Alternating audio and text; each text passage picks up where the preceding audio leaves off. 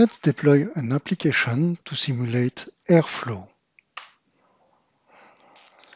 So that's it. We create one pod. In fact, when you deploy airflow, it will create a lot of pods, a lot of batch, and they will be all grouped together in Carbon Black UI.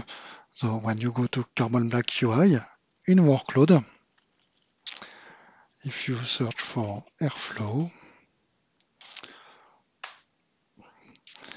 will see here a new icon, which means virtual workload. Uh, Carbon Black workload created this workload kind to group similar non-native pods. So it is how to identify virtual workloads.